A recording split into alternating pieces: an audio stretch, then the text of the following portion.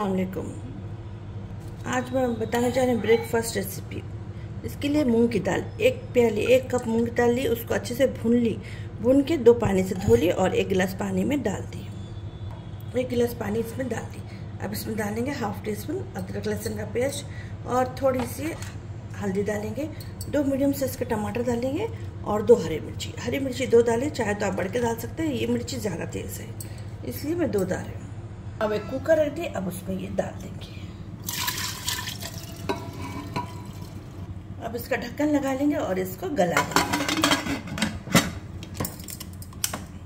हमारी अच्छे से गल गई, अब इसमें नमक डालेंगे। नमक डालने के बाद इसको घेट लेंगे।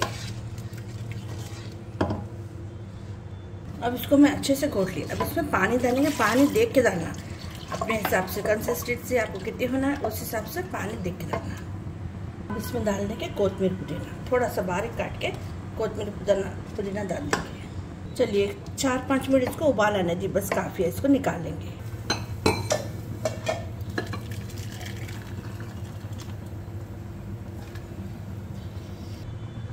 इसके लिए मैं कढ़ाई ली उसमें ऑयल डाली और एक छोटी प्याज की डंडी को बारीक कट करके डालें इसको गोल्डन ब्राउन होना है, सुनहरी होना जब तक इसको फ्राई करेंगे।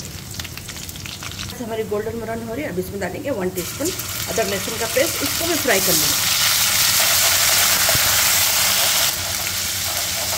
चलिए, प्याज हमारी गोल्डन ब्राउन हो गई, इसको फ्लेम को बंद कर देंगे, अब बघार देंगे।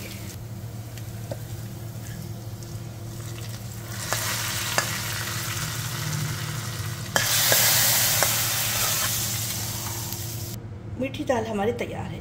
अब इसको आप रोटी के साथ, पराठों के साथ, फुलकों के साथ इसको सर्व कर सकते हैं। ये रोटी में बहुत मज़ेदार होती है। रोटी को चूर के भी खा ले सकते हैं, उसी तरह से भी लगा के भी खा सकते हैं।